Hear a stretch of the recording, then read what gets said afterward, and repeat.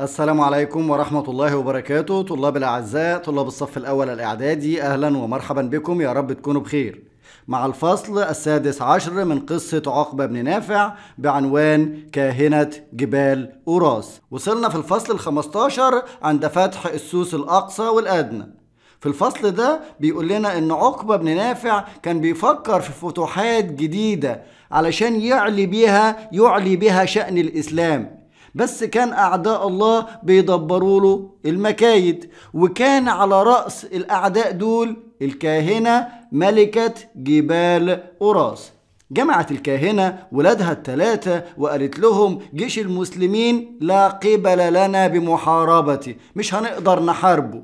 وأنتم عارفين إن هو هزم جميع القبائل وأخضعها لحكمه وليس أمامنا إلا حيلة واحدة. إيه هي الحيلة؟ حيلة واحدة للقضاء على الجيش الإسلامي. سألها أولادها الثلاثة أولاد ملكة جبال أوراس أولاد هذه الكاهنة بيسألوها وما هذه الحيلة؟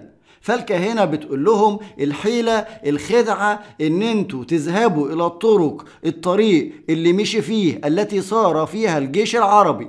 تمشوا وراه تشوفوا الجيش العربي الطريق اللي مشي فيه وتمشوا وراه وتردموا الآبار. الآبار اللي حفروها الآبار اللي موجودة في الطريق اللي هم مشيوا فيه هنردمها. علشان لما يجوا يرجعوا من نفس الطريق حتى إذا ما عاد من نفس الطريق من نفس هذه الطرق لا يجدوا هذه الآبار فيموتوا عطشا. يبقى دي الحيلة اللي عرضتها الكاهنة على أبنائها الثلاثة خرج أبناء الكاهنة ومعاهم عدد من أعوانهم اللي هيساعدوهم إلى الطرق اللي سلكها اللي مشي فيها عقبة وجيش المسلمين في أثناء مسيرتهم إلى طنجة. وردموا كل الآبار اللي موجودة على جانبي الطريق من غير ما يعرف عقبة بن نافع أو أي حد من رجاله بما دبرته هذه الكاهنة.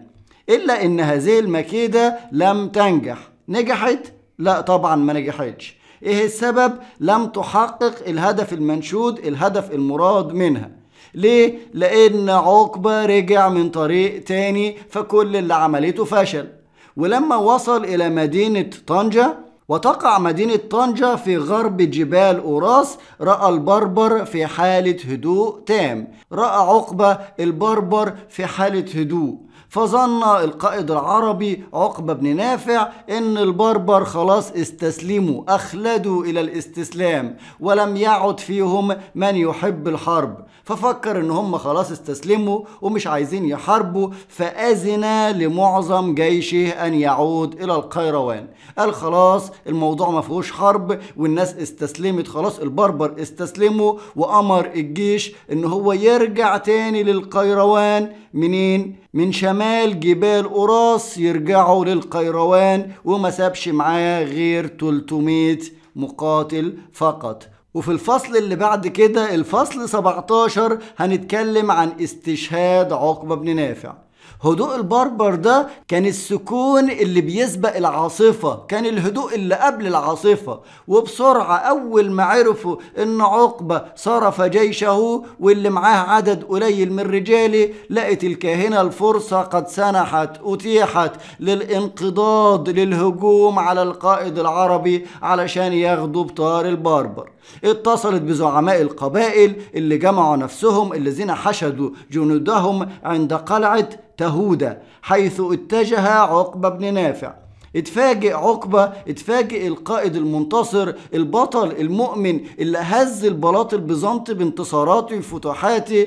اتفاجئ بآلاف الجنود من البربر بيسدون عليه المسالك بيسدوا عليه الطرق والشعاب الطرق اللي بين الجبال وشعاب الجبال. وأعجبوا من هذا أنه رأى كسيل بن لمزم. شاف كمان كسيل بن لمزم بيتقدم هذه الجيوش. وكان عقبة قبض عليه قبض عليه قبل كده وسجنه لتصرفاته المعادية له. ويطلب من عقبة لقى كسيل ابن لمزم بيطلب من عقبة إنه يستسلم بيطلب منه التسليم. وكان كسيلة قد هرب هرب في أثناء عودة الجيش إلى القيروان. لما الجيش رجع للقيروان هرب كسيلة. ومر على القبائل بيدعوها إن هم يحاربوا عقبة بن نافع ويحاربوا جندي. وبيستحسهم بيشجعهم إن هم ياخدوا بالطار من المسلمين. فكسيلة بن لمزم بيطلب من عقبة بن نافع إنه يستسلم.